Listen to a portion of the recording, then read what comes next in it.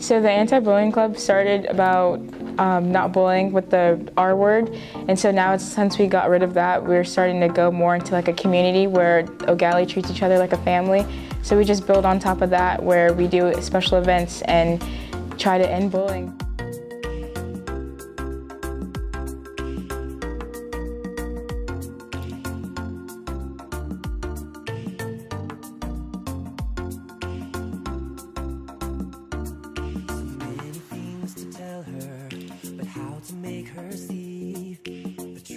So the importance of the anti-bullying march, we started it last year where we would come together as a big community and try to invite as much people as we can to walk around and show that we're unity with our school and how we support not bullying.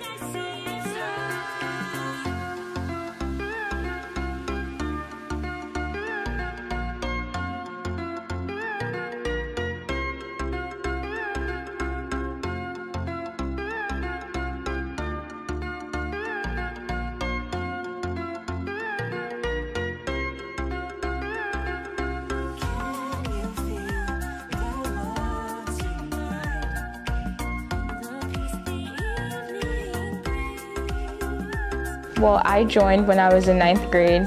I don't like bullying and I like my school, so I joined and it was a pretty interesting club at first where we would start with saying we would build friendships and relationships with our teachers and now it's easier for people to join because as many people as we can get, the more recognized we are, the more or the better the club is.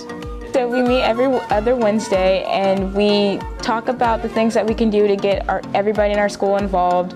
We talk about how we can get freshmen and underclassmen involved in like the activities that we do. Cultures, nations, and we're all in this together, ladies and gentlemen. We're all in this together. So stand up against bullying. Don't let it come from your mouth. It's not funny. It's not funny. And I'm here to tell you the bus stops here. And you guys pick up the mantle and run with it. You guys got a bunch of support. And I'm one of them. I will support you. I will stand and fight for you. Because I know you'll do the same for me. So Gallie Commodores, realize something real quick. Bullying can be stopped. It can be stopped. And it starts with each and every last one of you. When you make a choice, that's it.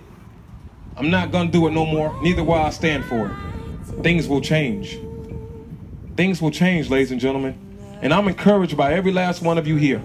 Every last one of you. You want to know why? Because you're standing for something purposeful. You're not doing it the wrong way. You're doing it the right way. You're doing it the Commodore way. Abiding by the law and doing things the right way. So take it with you, ladies and gentlemen. Everywhere you go, stand up for what's right.